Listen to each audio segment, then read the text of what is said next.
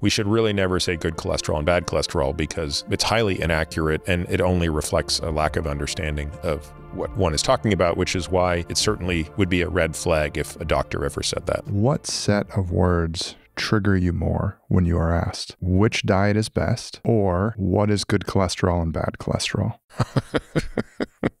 God. I don't know. Those are those are those are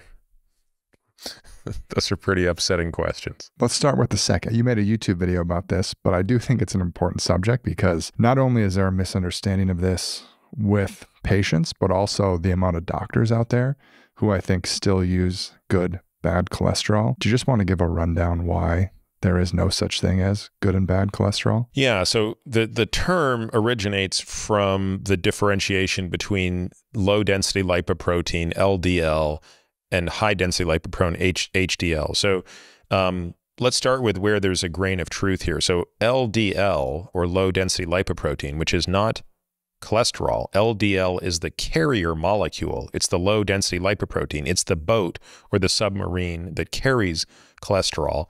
LDLs are bad and HDLs, high density lipoproteins, are good. But HDL and LDL are not laboratory measurements. There's no such thing as an LDL or an HDL that you can check at a lab. You can measure the content of cholesterol within the LDL. That's called LDL-C. And similarly, you can measure the content of cholesterol within the HDL. That's called HDL-C. So when you have a basic lipid panel and it says your HDL is 50, well, if you read the fine print, what it's actually saying is your HDL cholesterol concentration is 50 milligrams per deciliter.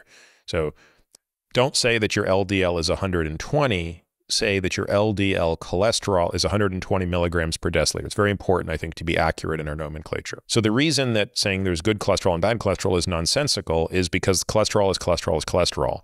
The same molecule of cholesterol inside the HDL is present inside the LDL.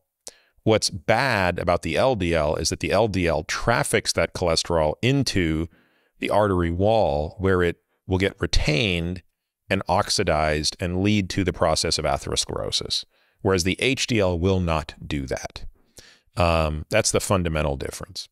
So we should really never say good cholesterol and bad cholesterol because it's it's highly inaccurate and it only reflects a lack of understanding of what one is talking about, which is why it's um, it certainly would be a red flag if a doctor ever said that.